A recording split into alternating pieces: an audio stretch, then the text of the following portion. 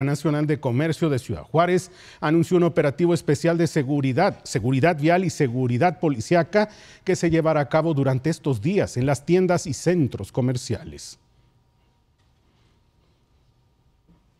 Donde vamos a hacer recorridos incluso en el interior de los estacionamientos de los centros comerciales y vamos a tener cada 30 minutos contacto con los, eh, las personas que estacionan vehículos. esta vialidad que va a vigilar los accesos, el, el buen tránsito de la gente que, que se acumula en, en, estos días y la policía municipal que va a estar dando rondines en todos los centros comerciales y en todos los lugares de transacción para cuidar que no sean asaltados, que no sean abusados, que, que no sean sorprendidos se desplegará un importante número de elementos preventivos que permanecerán realizando labores de prevención y vigilancia en los distintos centros y plazas comerciales,